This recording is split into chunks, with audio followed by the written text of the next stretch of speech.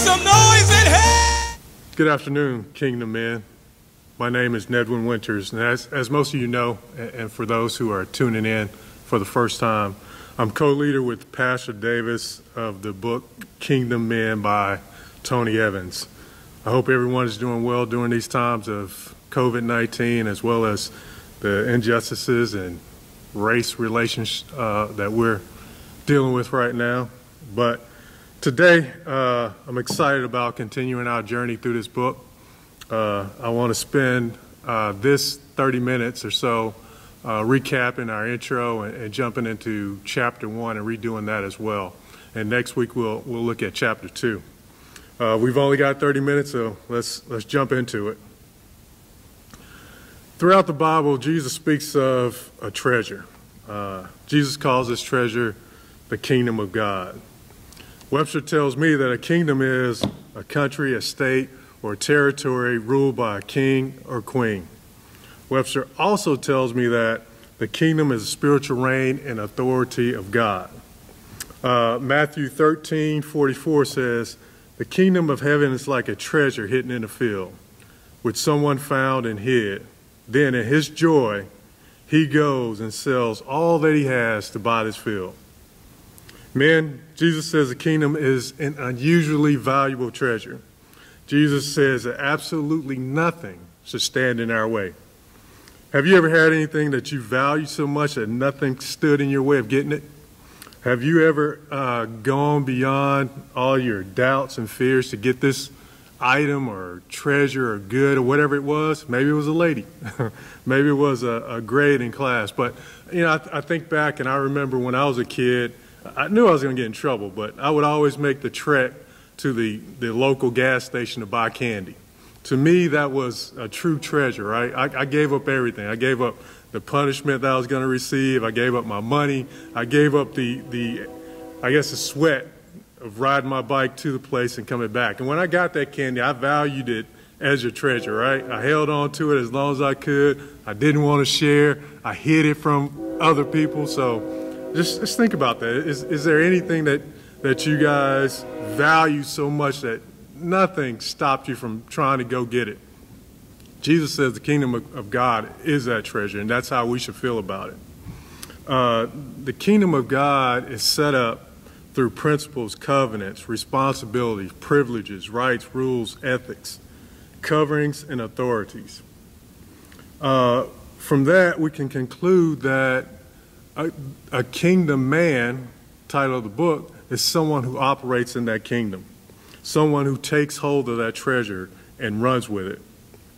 Uh, on this journey, man, we're going to discover these principles. We're going to discover these covenants, these responsibilities, these privileges these rights, these rules.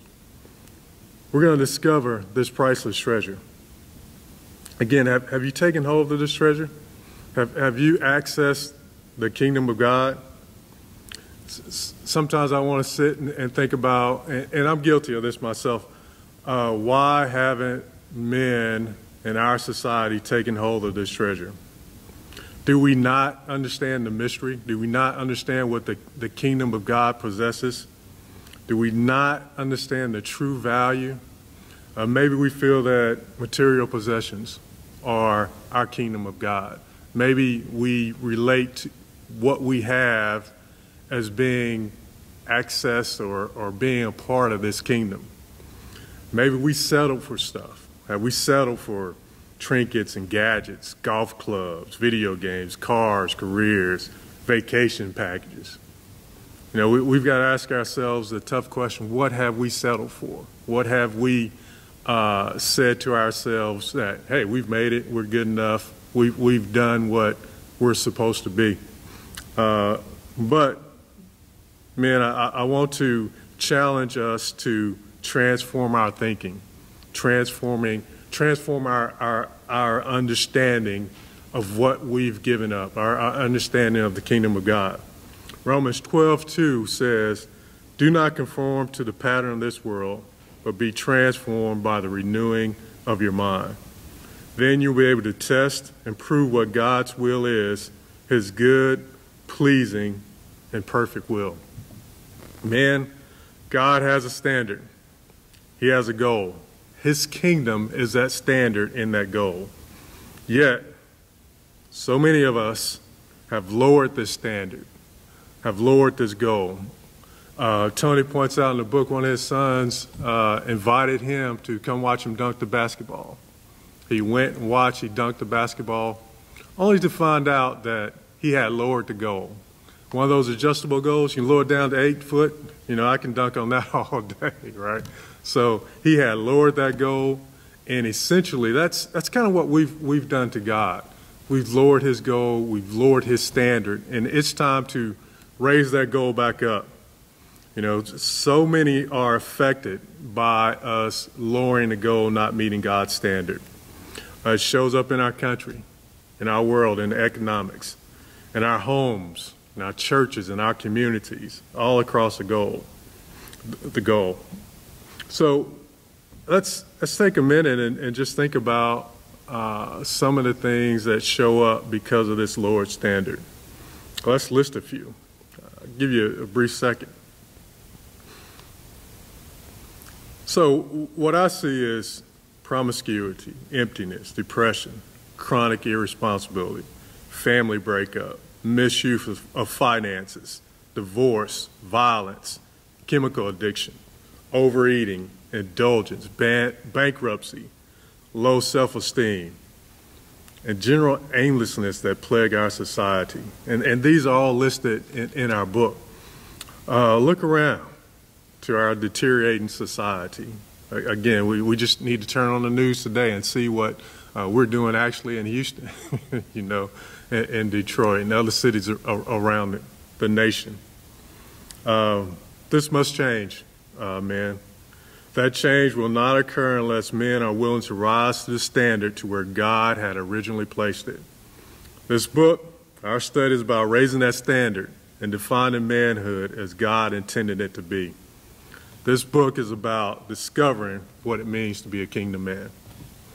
All right, let's jump into uh, chapter one. That, that, introduction has me a little giddy, right? Gave me goof, goosebumps just thinking about uh, the challenges that we face being a kingdom man. The cry for a kingdom man. This is chapter one of the book. Uh, how would you define manhood? Did your dad define it? Did Your wife? Your mother? Your friends? How would you say society defines manhood? Uh, what do TV shows and mo movies and popular music say about being a man? Now, now take just a brief moment and, and picture that in your head of your idea of a man based on what your family has told you, your friends have told you, and what society has told you. Now, I want, to, I want you to take that image, man, crumple it up, and toss it out the window. Uh, only thing that matters is the definition that God gives of manhood. God has defined manhood for us, and He's painted a picture of what a kingdom man should look like. Now remember, a kingdom man operates within the kingdom of God. When a kingdom man steps out his door each day, heaven, earth, and hell take notice. When he protects the woman under his care, she can do little to resist him. His children look to him with confidence. Other men look to him as someone to emulate. His church calls on him for strength and leadership. He preserves the culture and a champion of society. Wow. wow. You know, all those things are, again, man, what, what we're dealing with right now. I'm guilty. I'll, I'll be the first one, first one to tell you that I hadn't done all these things. I, I, I don't know sometimes what my children think of me. I, I know my wife is mad at me sometimes. And, and, you know, does my church call on me for, for leadership? You know, does the society? Am I active in the community? Am I doing things to not just promote my better good, but the good of those around me? That's, that's what a kingdom man is called to do. A kingdom man zeroes in on the purpose, and one purpose only advancing the kingdom for the betterment of those within it, which glorifies the King, our God, and he will pursue it at any cost. Think back to that story about the candy. I pursued it at any cost. Um, you know, Tony talks about football analogies quite a bit in the book, and, and one, one example he, he, he talks about is a third team being on the field. And I'm pretty sure you guys are familiar with football, and there are two teams, and then the third team, as he, he points out, is a team of officials. Without the officials on the, on the, on the field, it'll be consumed with chaos, right? Wouldn't you agree?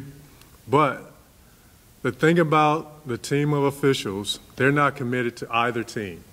They're committed to the league office, the NFL office, and they've got a rule book that governs us. One thing that we're going to point out in this book is that we are essentially the third team on the field, man. We, we have a rule book that we answer to, the kingdom of God, that no matter who's pulling at us, no matter which side is trying to get our attention or trying to get us to side with them, we have to make our decision based on that rule book. Who are you committed to? What kingdom do you belong to? Easy answer, right? Like I just said, we should, guilty, we should be committed to the kingdom of God. Men, we're in a battle. We're at war. You know, the stakes of this war and its casualties are high. Lives will be lost, eternities will be shaped, destinies will either be discovered or dismissed. Dreams will be attained or relinquished. Relinquished. How does it feel to be responsible for lives, man? How does it feel to be responsible for eternities and destinies and dreams? Kingdom men, we're placed here on earth for a specific reason and we receive our instructions from God Himself. We have we cannot be swayed by the majority. Now, you know, that's popular preferences and things that the societies are doing, everyone else is doing. We can't let that interfere with, with what we've been called to do. We must make our calls according to the book, to the Bible. As we dig deeper into chapter number one, guys, I want to pull out three major points. The world is in dire need, point number one, the world is in dire need of godly leadership. Point number two, God is ultimate Lord God and is ruler of all.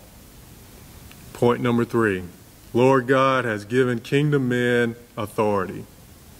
The cry for kingdom men. If I hadn't stated it enough, I would like to present to you that this world is in dire need. Look around you. Every child born, raised without a father, every woman's dream drowned by irresponsible or neglectful man, every hope snuffed out by confusing circumstances, every lonely soul of a single woman searching for someone to worthy to marry, and every sanctuary and community devoid of significant male contributions.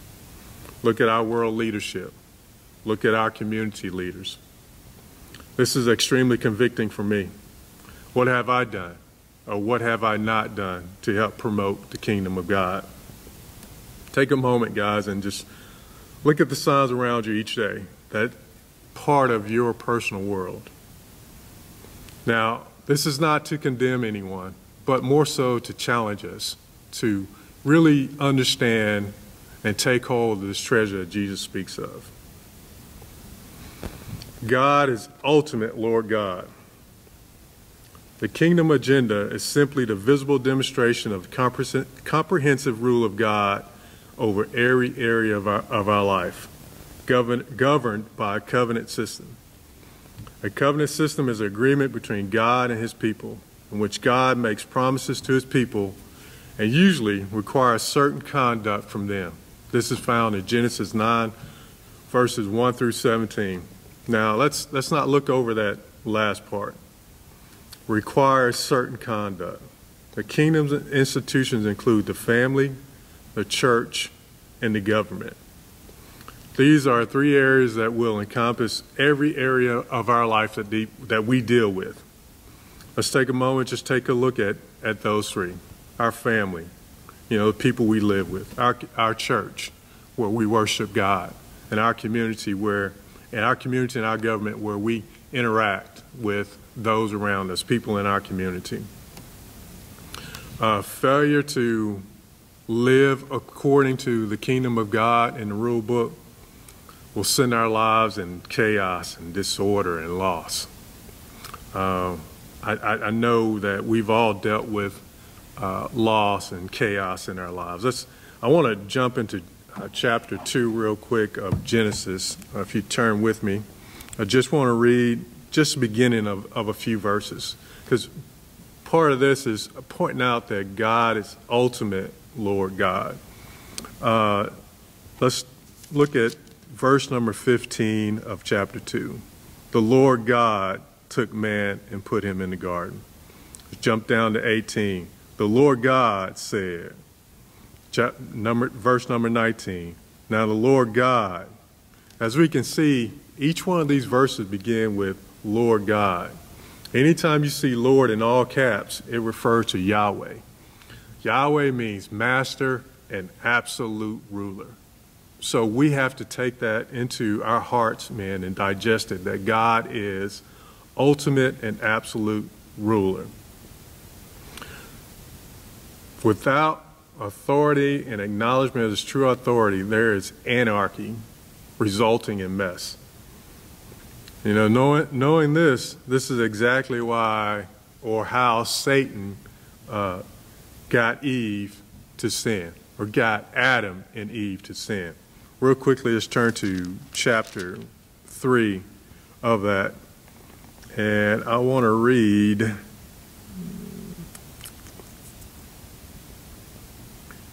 the first verse, first through number three. Now, the serpent was more crafty than any of the wild animals the Lord God had made. He said to the woman, Did God really say, You must not eat from any tree in the garden? The woman said to the serpent, Serpent, we may eat fruit from the trees in the garden, but God did say, You must not eat fruit from the tree that is in the middle of the garden. Let me stop right there uh, as you can see, Satan took out Lord God. All, all through this chapter, from, from uh, chapter 1, 2, and 3, it was Lord God, Lord God. And Satan subtly took out Lord God and just made and just said God. How many subtle uh, things happen in our lives each day that um, just just a little bit away from the God from God's word and His way of His precepts and His His uh, authority and His rule just a little bit away from, from our uh, ways of operating, from, from what can usually convicts us. You know, it's just the subtle little things. Like, you know, I, I think back uh, when I was a kid, you would never hear cursing on TV, right? When I was a kid, you'd never uh, hear certain words on TV and on the radio. But nowadays, it's like regular television. You don't even have to be on HBO to see uh, more cursing, more violence, more uh, nudity, more just small little subtle things that have gradually made our way or made their way into our lives. Uh, but the thing about it is, um, it wasn't Eve who got in trouble with the first sin. When God came looking, he came looking for Adam. He didn't come looking for Eve. He said, Adam, where are you? And the thing about it, and I've read this, I've read Genesis so many times throughout my life, and I, recently I just realized that Adam was right there with Eve. She gave to her husband, which was with her. Think about that just for a minute, men. We sit there and we let subtle serpent come into our lives and change the way we should be operating. Adam sat right there and didn't say anything. You know, in when when God first put him in the garden, he brought the animals to him and, and he was talking up a storm. And we'll get into that in later chapters in the book. He was naming things, talking with God. But when certain when Satan came in, the serpent came in, he was suddenly quiet. And he gave, as, as Tony pointed out, he gave all authority to Satan right then and there. As Tony pointed out, he fumbled the ball, guys. He dropped the ball. As God master and absolute ruler in your life, has the Lord, the ultimate authority, dictative rule in your life been taken out? Has the Lord, the title, been taken out of your title for God? How do we get back to Lord God? How can we make God our master and absolute ruler in our lives? What have we done to lose fellowship with Lord God? It had been Adam who God had revealed himself to as Lord God in the context of giving Adam divine instruction. As a result, Adam was ultimately held responsible. Men, we are ultimately held responsible. Adam made the decision to disobey God. When we make decisions based on our own thoughts, beliefs, or values, like Adam did, rather than based on what God has, has to say as ruler, then we are choosing to rule ourselves as Adam did. We are choosing to call the King of God without recognizing his authority by removing his rightful name as Lord God. God's authority. Let's read Exodus 34 23 through 24.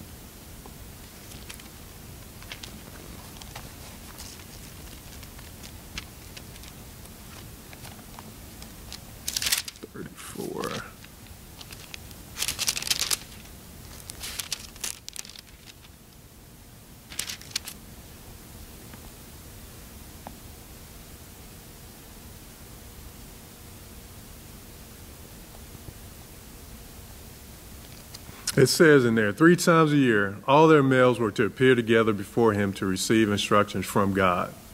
He called the men to submit themselves to his complete authority. And when the men submitted, those were connected to him would receive God's covering, protection, and provision. But they, receive, they would receive this only if they positioned themselves under his absolute rule. Men, the same principle applies today. God's rulership applies to us no different than they did with the Israelites. If we submit ourselves unto God, His covering, His protection, and provision will apply to us.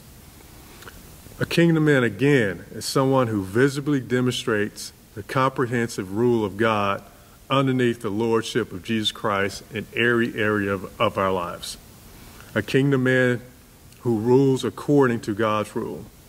Just as a referee in an NFL game is able to rule according to the rule book, a kingdom man is released to rule when he makes his decision and orders his world according to God's rule.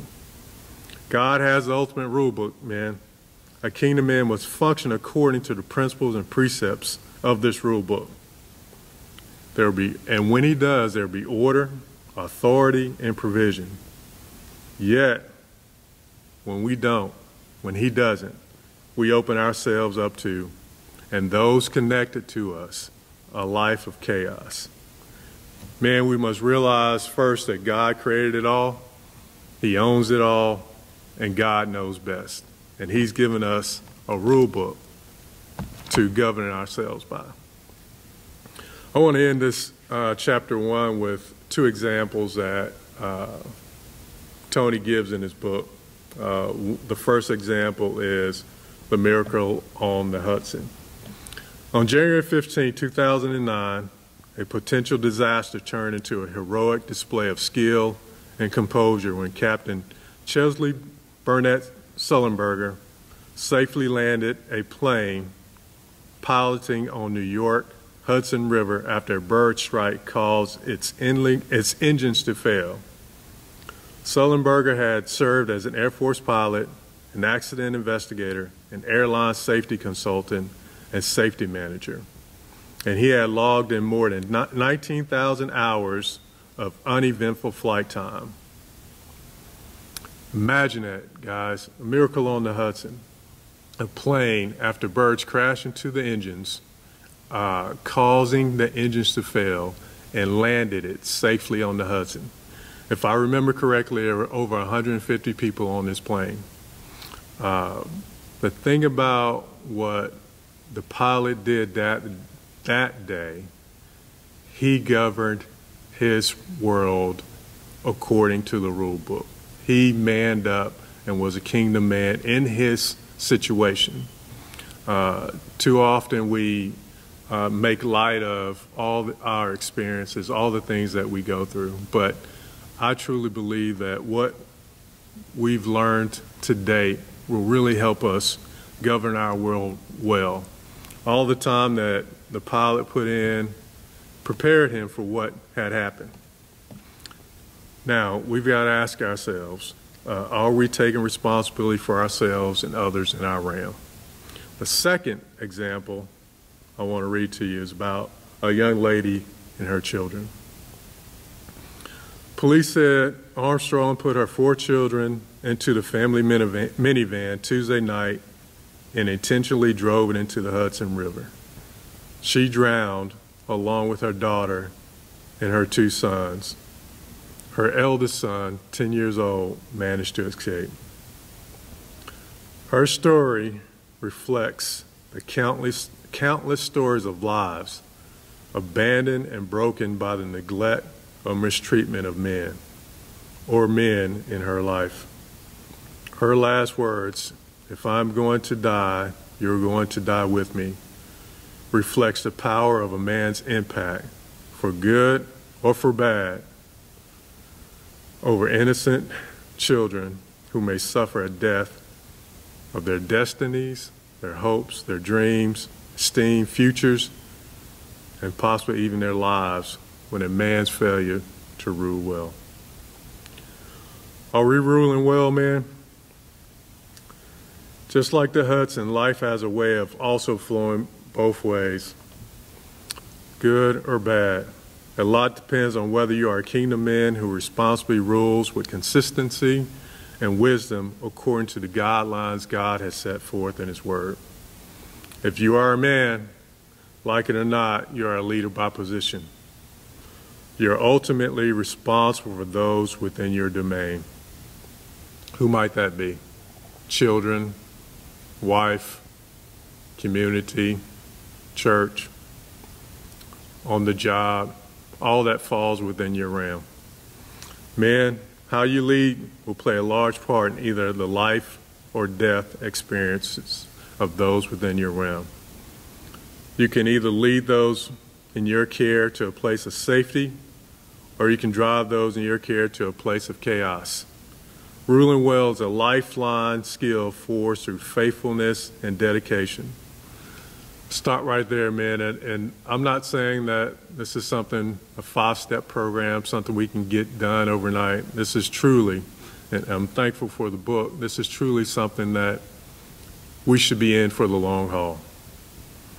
Our God, the King, has given us a rule book by which we are to govern, by which we are to rule, lead, make decisions, direct God, and align our life choices. That rule book, again, is His Word.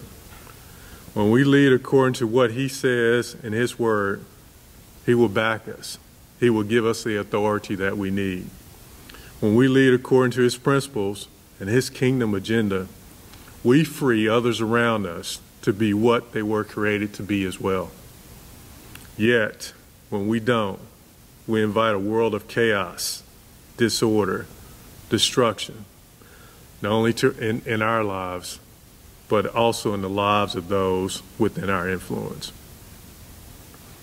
Man, when you step out the door each day, do heaven and earth take notice? When you protect a woman under your care, can she do little to resist you? Do your children look to you with confidence? Do other men look to you as someone to emulate? Does your church call on you for strength and leadership? Are you a preserver of culture and a champion of society? One who keeps our evil and ushers in good? Are you a man who's fulfilling your destiny and able to satisfy the woman in your life? More so than that, though, when God searches for a man to advance his kingdom, does he call your name? Man, uh, you guys have a good week, and next week we'll pick it up on chapter two. Thank you.